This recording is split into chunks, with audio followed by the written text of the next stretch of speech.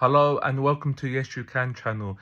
In today's video, I will show you how to enter advanced slash debug mode in any Acer Nitro laptop. so I'm going to do a video tutorial like this. What you need to do is power on the laptop and keep tapping F2 key. That will take you into BIOS. So you got to keep tapping the F2 key when your laptop is switched on. Once you're in BIOS, I want you to hold down the power button for 5 seconds. Your laptop will now shut down. When your laptop is switched off, I want you to type these keys in your keyboard.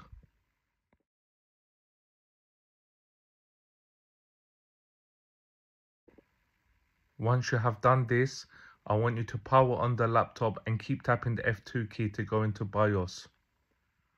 Once you're in BIOS, you should be able to see advanced slash debug mode where you can make additional setting changes. Also, you can apply the save changes to it.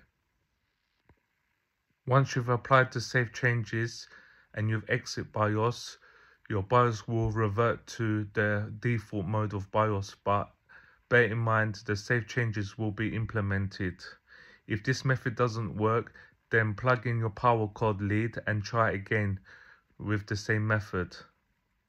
Thank you for watching this video. Please like and subscribe and leave a comment below if this video has helped you.